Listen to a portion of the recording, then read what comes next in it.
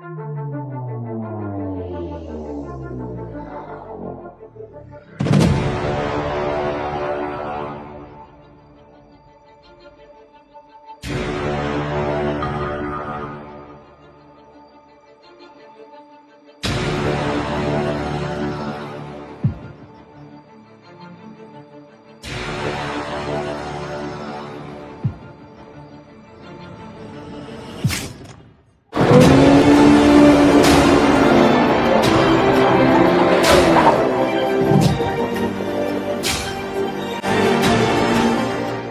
Hey, hey amigos de Pitstop, ¿cómo están? Mi nombre es Federico y hoy tenemos la Ford F-150 Raptor. Cuando tuvimos hace unos meses la Ranger nos criticaron diciendo que por qué en el barro, que ahí no es el lugar de un Raptor, entonces nos vinimos al lugar de un Raptor, a un desierto. Así que bueno, acompáñenme a ver de qué es capaz este monstruo de 3.3 toneladas y 450 caballos de fuerza.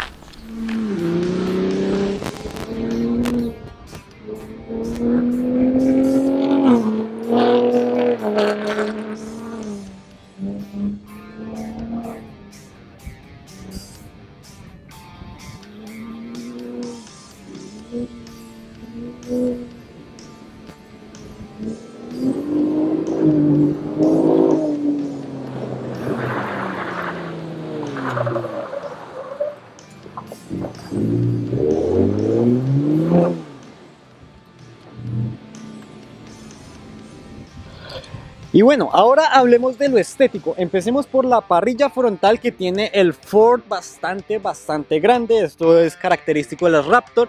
Acá al frente tenemos la cámara de visión frontal, tenemos abajo los sensores. Acá en este espacio tenemos el tema de los anclajes para, pues, por si nos quedamos atascados. Y vean acá, la parte del cubre cárter es totalmente metálica, esto para proteger pues el motor, la caja de cambios. Estas luces son totalmente nuevas y son diferentes a la generación anterior. Acá la generación anterior tenía una parte eh, junto a la parrilla, son totalmente LED. La luz vía es naranja. Y acá tenemos los tres LEDs por el tamaño colosal de esta camioneta. Sus más de 2 metros 20 de ancho hacen que sea un, un requerimiento en Estados Unidos. Otra novedad es que acá Ford nos va a incluir estas dos exploradoras. La generación anterior en este espacio tenía el huequito para que cada quien metiera las exploradoras que quisiera. Llantas RIN 17 con neumáticos de 35 pulgadas que son neumáticos All Terrain, BF Goodrich. Y como se pueden dar cuenta tienen un taco bastante grande, bastante agresivo. Esto pues porque estamos hablando de un rap. Otra de las novedades es que acá en el capó tenemos este extractor de aire en color negro. Si usted la compra azul, blanca, gris, siempre va a venir de color negro. Tenemos estas líneas también de decoración y acá tenemos unas branquias que también sirven para extraer todo ese aire caliente que llega a las llantas y al motor. Acá tenemos estos espejos que son idénticos a los que habíamos visto en la F150 Lariat. Tenemos esta parte en LED y una novedad de la Raptor y de la Platinum es que tenemos acá las cámaras de visión 360. La Raptor, al igual que la Lariat, va a tener estos estribos totalmente metálicos en la versión Platinum. Son eléctricos que se pueden regular. Y bueno, acá tenemos las inscripciones Raptor que no pueden faltar en un carro así. Y si usted se pregunta qué significa el FP, significa Ford Performance y el GN03 significa la tercera generación de este monstruo y la bandera de Estados Unidos porque pues este carro es ensamblado allá. Ahora, la parte de atrás, lo característico, aquí también tenemos el Ford bastante grande en fondo negro, aquí a la derecha el Raptor, a la izquierda el F-150 y la novedad viene acá en estas colosales salidas de escape que fueron afinadas específicamente por Ford Performance para que produjeran un sonido bien, bien espectacular tiene cuatro modos diferentes, el modo quiet, el modo normal, modo sport y modo baja que es donde suelta toda la música de ese V6 Turbo. Y bueno, ya para finalizar la parte exterior, el ángulo de ataque es de 31 grados, el de salida es de 23.9, la distancia entre ejes es de 3.6 metros y la altura es de 30 centímetros.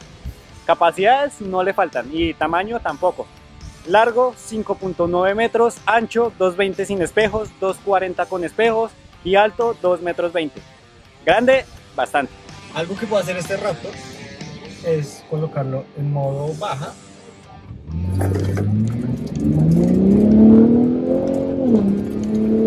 Acelerar a fondo y hacer esto.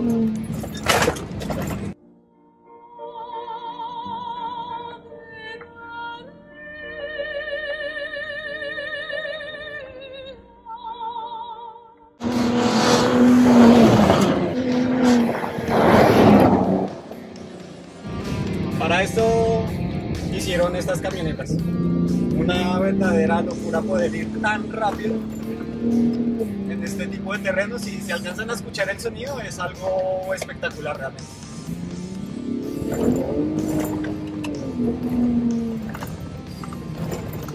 Bueno y aprovechando el atardecer aquí en el desierto de la Tatacoa, miremos el tema de el Platón. Acá como se pueden dar cuenta la Raptor de serie no viene con un cubre platón, entonces pues toca un poco ingeniárselas o lo más fácil es comprar un cubre platón y solucionar el tema de raíz. Al igual que en la F150 normal tenemos la escalera para tener un acceso mucho más fácil. Y créanme, en esta camioneta se agradece mucho por sus enormes dimensiones y acá tenemos prácticamente el mismo espacio que en la F150 normal. La diferencia radica acá, porque acá tenemos el generador que es capaz de generar hasta 2.4 kilowatts con dos tomas de, pues de casa prácticamente. Desde acá lo podemos encender. Funciona únicamente con la camioneta prendida. Tenemos las mismas luces LED, acá tenemos los mismos anclajes. Tenemos también acá el espacio para dejar nuestro celular, ya sea vertical o sea paralelo. Acá un portavasos, acá la regla aunque lo sé, no se ve mucho, pero pues en tomas de pollo se estará viendo mejor. Y acá en esta parte tenemos los huecos para anclar ganchos tipo C. Esto porque pues tenemos el generador y podemos usar un disco de corte o cualquier otra cosa y necesitamos anclar madera, pues Ford pensó en todas las soluciones posibles para que usemos nuestra F-150 y no solo la tengamos por tenerla. Un detalle muy curioso y muy interesante es que acá tenemos un destapador de botellas, mismo detalle que habíamos visto en la Bronco Sport. Y también la puerta es de accionamiento totalmente eléctrico. Un poquito demorado, pero está muy nice ese toque. Esta F-150 tiene lo que le hacía falta a la Ranger. Y es lo primero, motor a gasolina que un Raptor sí o sí necesita un motor a gasolina.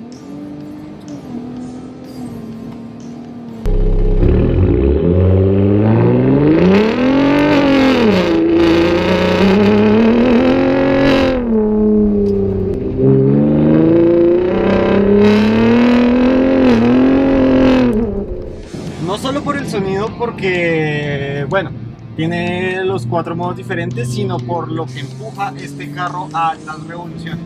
Uno no se preocupa por los huecos, por los baches, sino simplemente se preocupa es por las dimensiones, porque este carro es muy, muy grande.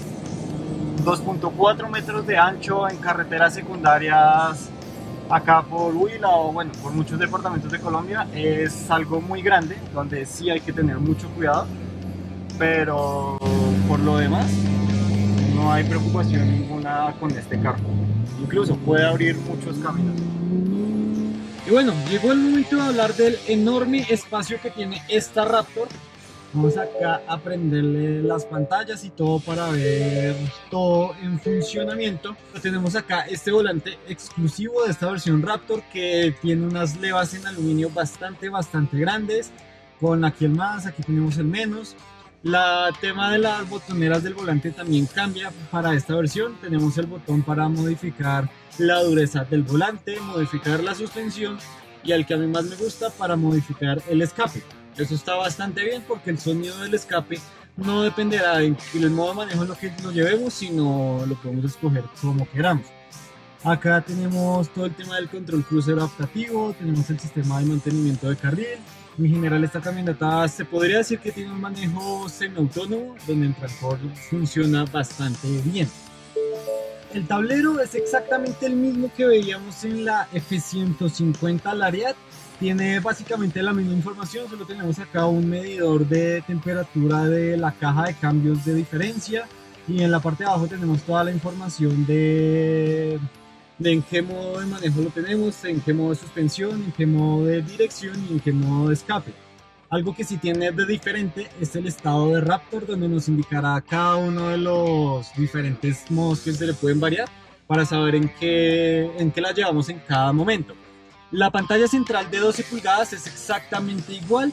Acá la diferencia, una muy notoria diferencia, y esta Raptor es la única versión que la trae en Colombia, es el tema del generador de alta potencia que lo manipulamos desde acá está en la parte de atrás, pero eso pues ya lo vemos cuando miramos el tema del, del Volco o del Platón. Acá en esta parte ya no tenemos el tema del monedero, sino aquí tenemos los controles para manipular el tema del remolque. Acá abajo igual tenemos el tema de los modos de manejo. Y una cosa bien interesante es que en esta versión sí la podemos llevar en modo Sport en tracción trasera. En la Lariat, cuando poníamos el modo Sport, se activaba el 4x4 de forma automática. Otra de las diferencias es que esta versión tiene calefacción del volante, calefacción en las sillas de atrás. Acá lo que ya habíamos visto, la toma de corriente de 12 voltios, la toma de corriente de 120 voltios, está bastante bien. El mismo espacio de la guantera acá arriba, la guantera acá abajo.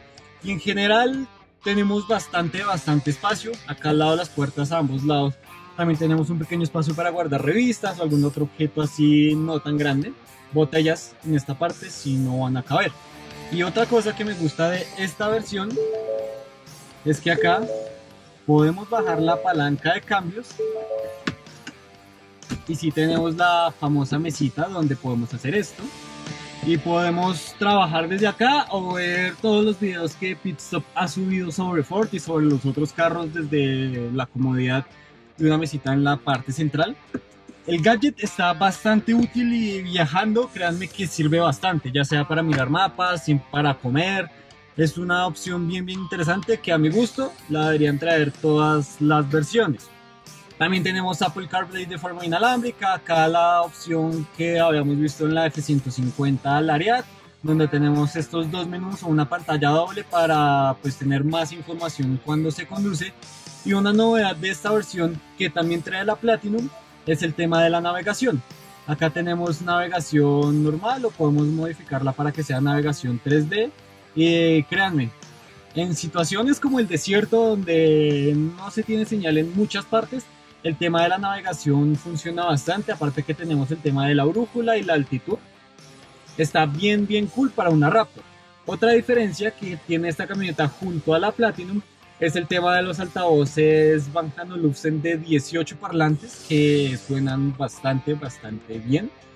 Dirían por ahí que es uno de los mejores sistemas de sonido que tienen los carros en Colombia y estaría totalmente de acuerdo. Claro está, de serio, porque hay otros que suenan también espectaculares. Otra de las novedades que tiene esta Raptor, ahora sí toca encenderla, es el tema de que tenemos asistente en parqueo totalmente autónomo ya visto acá, vamos a verla a la parte de atrás que tiene cosas también muy, muy buenas.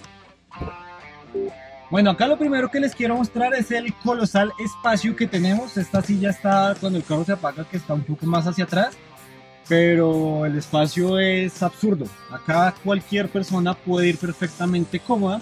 En nuestro paseo incluso metimos acá una nevera de más de 20 litros en la parte central y las dos personas que van a los lados iban perfectamente cómodas. Acá también podemos dejar algunos objetos y pues estiramos las piernas y no va a haber incomodidad de ningún tipo. Tenemos un techo solar bastante grande que abre hasta la mitad, obviamente. En la parte central tenemos dos portavasos con pequeño espacio para dejar cosas, la calefacción de las sillas laterales, toma de corriente de 12 voltios.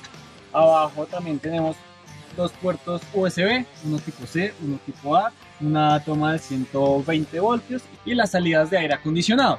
Que aquí sí tengo una pequeña queja y es que este carro es bastante grande y las salidas están muy abajo, donde en climas de más de 35 grados como los que vivimos, las dos personas que iban acá atrás sí sufrieron un poco de calor porque así uno ponga el aire acondicionado al máximo, no llega lo suficiente acá y adelante sí llega bastante fuerte.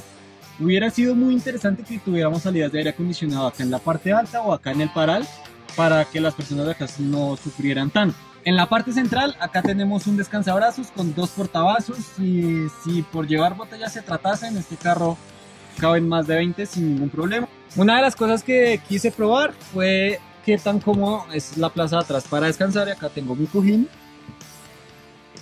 Lo pongo en esta parte y aquí fácilmente puedo pasar una noche sin ningún problema. Eso sí, la silla está un poco inclinada hacia la parte de atrás, pero dormir acá es una opción bastante, bastante viable. Eso sí, si se trata de una sola persona, porque dos personas acá no caben. O la otra opción, si uno quiere ir de pronto un poco más cómodo, uno sube esta silla, subo esta otra silla, acá bajo esta palanca y acá nos queda un espacio totalmente plano donde si tenemos un colchón no tan grande, acá una persona se puede acostar sin ningún tipo de problema. Y bueno, voy a aprovechar el trancón de Bogotá para hablarles cómo es tener una Raptor en esta ciudad o en cualquier otra ciudad. La verdad es algo complicado, diría que no es el ambiente ideal porque hay calles muy estrechas, porque el tema de los parqueaderos en los centros comerciales y en los conjuntos también son bien pequeñitos, donde una Raptor cabe prácticamente metiéndola con mantequilla y no, pues para una persona con un carro así va a ser un dolor de cabeza. Lo otro es todo el tema de, del consumo de gasolina. Eh, sí es muy cierto que el que tiene una Raptor no se va a preocupar por el consumo de gasolina, pero lo primero es que en ciudad promedia 12 kilómetros por galón con los trancones y así tengamos el auto start stop, el auto hold, todo y pues no tenemos modo de entonces va a estar siempre en modo normal y va a promediar eso y lo otro es que el precio de la gasolina extra está bastante caro, entonces... Pero vuelvo y digo, el que tiene un carro de estos no se va a preocupar por el tema de la gasolina. Y entonces, ¿cuál va a ser la preocupación de alguien con una Raptor? Y la verdad, no creo que tenga mayor preocupación más que por el tamaño porque huecos, baches, altibajos, policías acostados, topes, calles rotas, todo, todo, todo lo va a pasar sin ningún tipo de problema. Esta suspensión Fox de tercera generación es una cosa loca, lo que aguanta, lo cómoda que es. En carretera uno puede ir a 80, 100 kilómetros por hora y va a ir perfectamente cómodo como una nube y uno puede hacer esa misma velocidad o incluso más en una carretera destapada y también va a estar como si nada. Eso sí, hay que tenerle pues mucho cuidado si uno no conoce dónde se está metiendo. Y para el mercado realmente eso es lo que más le importa a las personas. No tener una camioneta que va a sufrir por los huecos, que de pronto va a sufrir porque se le rayó un ring, que va a sufrir porque con un hueco y dañó parte de la suspensión sino simplemente quieren un carro que aguante el uso y el abuso y lo haga de una manera divertida, lo haga de una manera en que uno se pueda divertir con esta camioneta, ya sea en ciudad, ya sea en donde sea, lo va a hacer. Si uno coloca el escape en modo baja,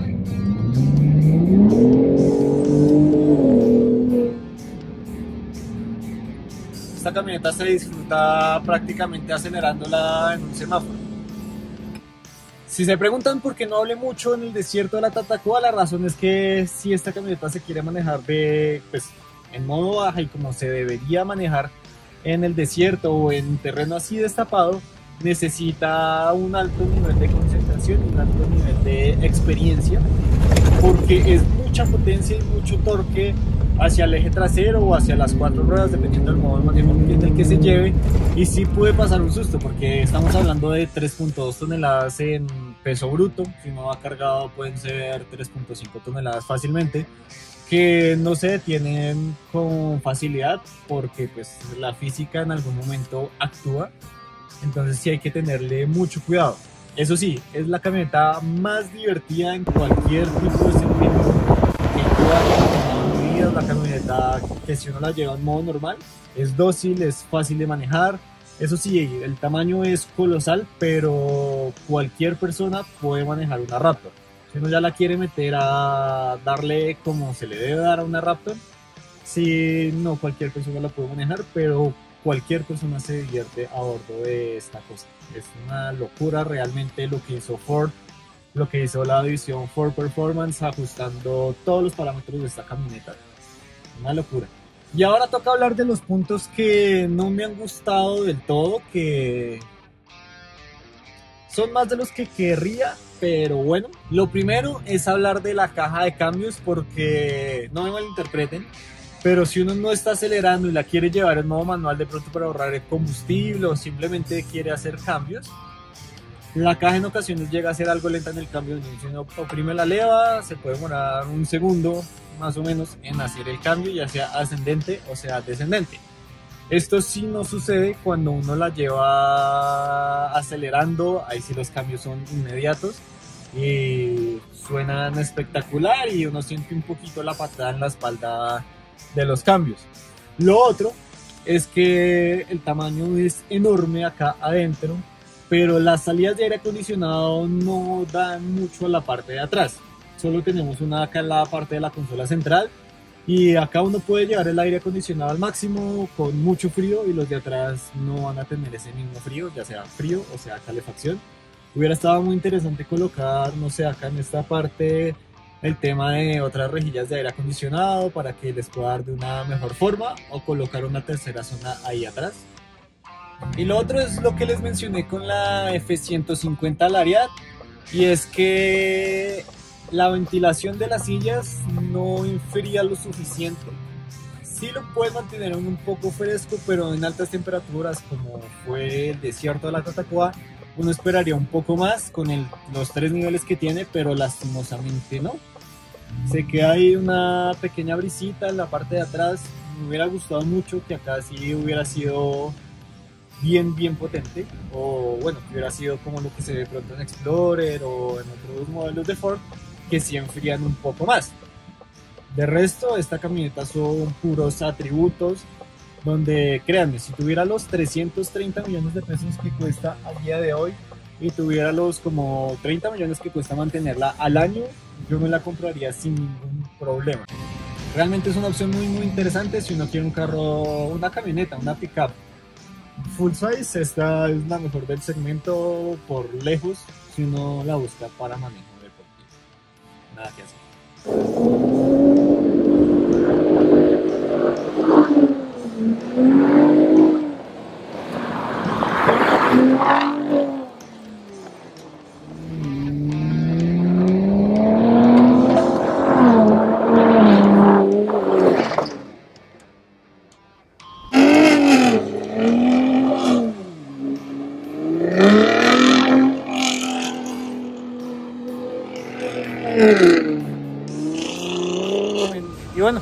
Momento más triste que es entregarla a Raptor.